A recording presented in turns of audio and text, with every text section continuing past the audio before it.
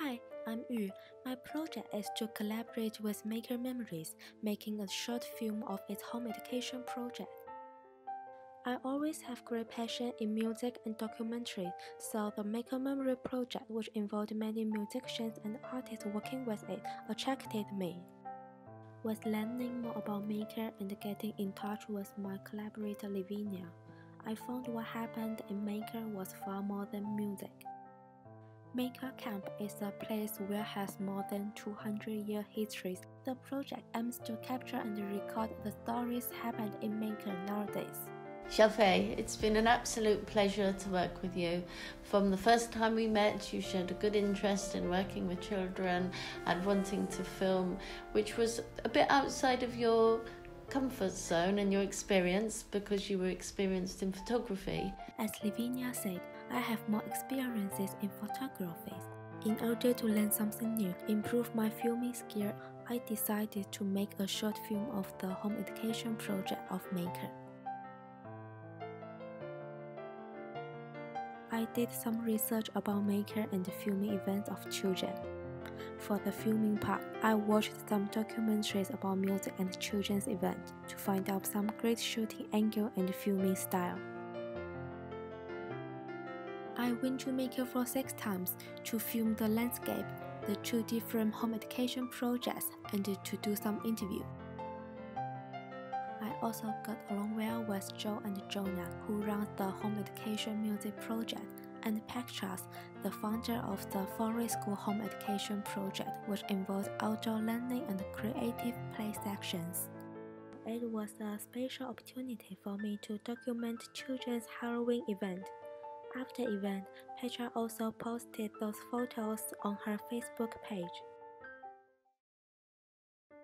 Documenting the home education projects for several times, I was impressed by the relaxing and pleasant atmosphere of their sessions.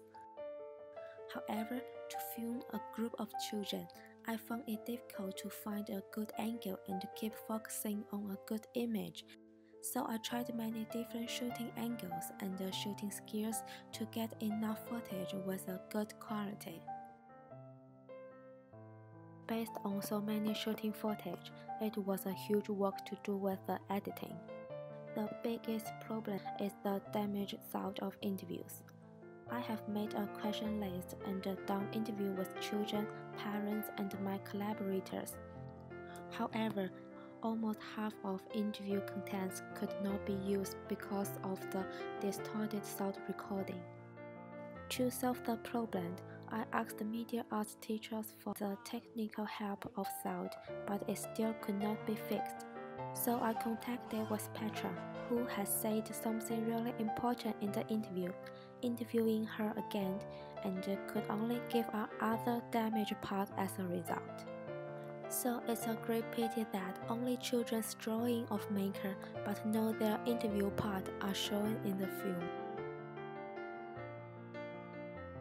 I have finally completed the project with the great help of Maker's members during the whole process, as well as my tutor's suggestions about doing research, building the film structure, selecting footage, and so on.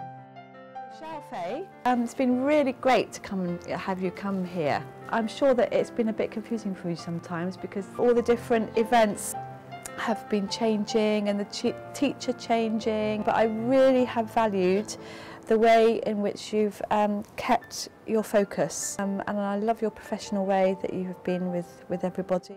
You've worked really well with Jo and Jo and Petra with the home education project and that it's been a delight to work with you. It's been a bit of a learning curve because of the quality of the sound and um, the consent forms, but this is all part of learning. You know, you'll learn and become a better practitioner through making mistakes. But your visual work has been absolutely perfect and your presence has been very professional. It's been a real joy to have you working with us. The collaboration with Maker Memories is an absolute treasured memories and important learning process for me. The spirit of Maker, the strong power of Maker to bring people together, keep creative and free as a community, have left a really deep impression on me.